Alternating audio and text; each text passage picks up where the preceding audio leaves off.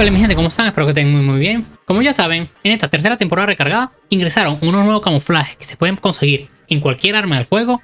Esto incluye las armas de Modern Warfare 3 y las armas de Modern Warfare 2. Y dicho camuflaje se llama camuflaje de prestigio. Que son estos que ustedes pueden ver al momento que se van al armero, seleccionan la arma que ustedes quieren ver, nos vamos a personalizar camuflaje y aquí vemos prestigio del arma. Al ingresar ahí podemos ver que está este nuevo camuflaje de prestigio que se llama un truco, que tiene un efecto como de oro líquido, que está muy, muy pro. Este camuflaje se lo puedes conseguir a cualquier arma, el único requisito es llevarla al nivel máximo, y ya cuando la tienes al nivel máximo, tienes que hacer el desafío para desbloquearla, que son que tienes que conseguir 150.000 de experiencia para el arma. Es el mismo desafío para todas las armas, y cabe destacar que en cada actualización ellos nos habían dicho iban a meter un nuevo camuflaje de prestigio. Entonces vemos estos tres camuflajes que vienen seguramente los irán trayendo para futuras actualizaciones. Aún no se saben qué nos pedirán, pero de seguro estará relacionado en ya tener este camuflaje del truco. Ok, ya la introducción está hecha, ya sabemos que hay un nuevo camuflaje, cómo se consigue, pero yo ahorita a continuación voy a dividir este video en tres partes. ¿Cuál es la mejor forma de conseguirlo jugando multijugador?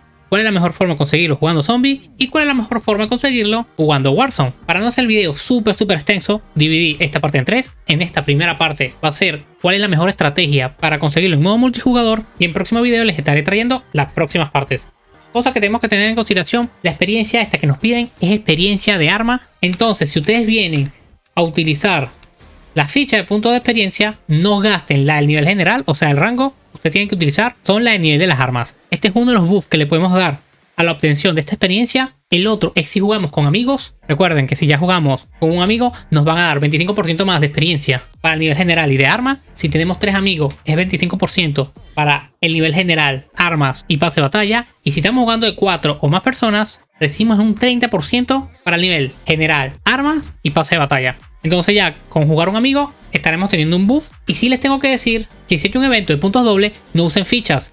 Porque no se va a multiplicar por 4 la obtención de experiencia. Si está el evento que no da por 2 de puntos de experiencia, no gasten sus fichas porque como les dije, no se van a acumular. Nada, ya aparte de recomendarle utilizar las fichas para conseguir esta experiencia rápido, vamos con la estrategia en modo multijugador. Primero y principal, yo les recomendaría que jueguen el foso de mapa pequeño. Si hay Cheatman 24-7, aprovechen Cheatman 24-7 pero si no, Wolfos son mapas pequeños, van súper súper bien. Son mapas pequeños, se hacen muchas kills. Y hay modos de juegos que dan demasiada experiencia, como son dominio y baja confirmada. Y cada partida dura alrededor de 7 minutos. Entonces son partidas muy, muy rápidas que le pueden sacar demasiada experiencia. Ya por parte de cuál es el equipamiento que usted tiene que tener para ganar la mayor cantidad de experiencia, yo recomendaría por parte de racha de bajas, el UAV y el UAV de respuesta, porque estas dos rachas bajas son muy fácil conseguirla y aparte de que te muestran dónde están los enemigos para que tú lo vayas a matar, y gente de tu equipo hace bajas, te van a dar experiencia por asistencia. Entonces, estas dos rachas de bajas te ayudan a tener mucha experiencia. Y ya por el tercer per, ahí ustedes pueden elegir el que ustedes quieran.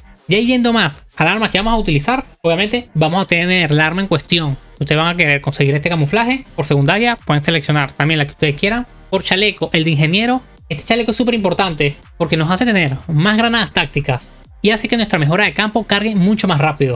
Entonces, por granadas tácticas vamos a usar la granada de señuelo. Esta cada vez que hacen ruido nos darán punto de experiencia y si matan a esos operadores que son afectados por esta granada, nos darán aún más experiencia. Ya por el PM es una mejor de campo que carga súper súper rápido y lanza un pulso electromagnético que daña bien sea minas, caja de balas, si afecta a jugadores también te dan experiencia. Y ya que estamos en mapas pequeños, principalmente Shipment, cada vez que lo lancemos en el medio, fácil nos dará un poco más de 200 de experiencia. Ya por parte de los pers, yo les recomiendo que fijo tengan máscara táctica y el comunicador de misión, esto para que las rachas bajas te piden menos puntos y la puedas tener acá rato y lanzarla. Y ya por los últimos dos pers, ustedes pueden elegir lo que ustedes quieran. Entonces nada, aquí tenemos la arma que le vamos a hacer la prueba. Fíjense que yo tengo 35.979 de experiencia. Vamos a jugar dos partiditas rápidas, que más o menos lo que me dura una ficha de puntos de doble experiencia de 15 minutos. Y como les mencioné, vamos a intentar priorizar que sea.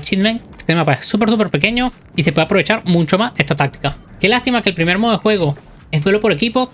Es uno de los modos de juego que menos da experiencia. Pero nada, igual nos vamos a poner esta ficha de puntos dobles. Y la estrategia es sencilla.